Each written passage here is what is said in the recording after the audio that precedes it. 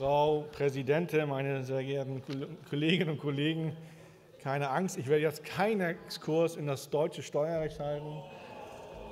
Mich hat nur das Beispiel von der Kollegin Rösler so ein bisschen stutzig gemacht. Also wenn, Sie haben, wenn ich das richtig verstanden habe, hast du gesagt 2600 brutto. Den Koch, den Koch in Mecklenburg-Vorpommern zeig mir bitte mal, der 2600 Euro brutto monatlich bekommt. Nein, nein, der 2600 Bruttogehalt gesagt im Monat. Und es gibt keinen Koch, glaube ich, der nicht einen eigenen Laden hat, der das verdient.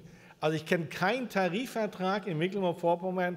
Und ich habe gerade noch mal geguckt und ich habe mir auch einen Tarifvertrag angeguckt eines nahenhaften großen Hotels an der Ostseeküste, wo drinne steht, nie im Leben 2600. Also wenn mit Beispielen, dann mit Beispielen, die auch in der Realität vorhanden sind. Das macht mich auch nicht stolz. Es gibt aber auch Tarifverträge, wo das verankert worden ist. Das ärgert mich dann auch, dass mit solchen Zahlen hantiert wird, die nicht stimmen.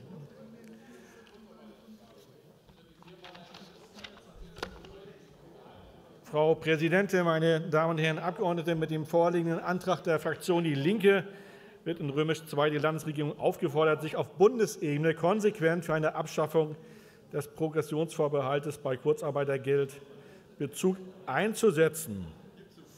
Hier möchte jetzt die Linke noch einmal etwas wiederholen, was im Bundestag schon passiert ist. Denn der Bundestag hat sich mit einem Progressionsvorbehalt bei Kurzarbeiterbezug schon mal unterhalten oder vielmehr abgestimmt, beschlossen.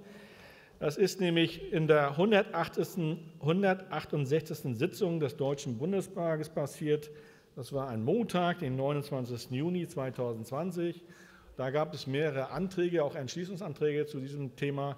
Es wurde der eine oder andere schon benannt gerade. Und es gibt einfach keine politische Mehrheit dafür.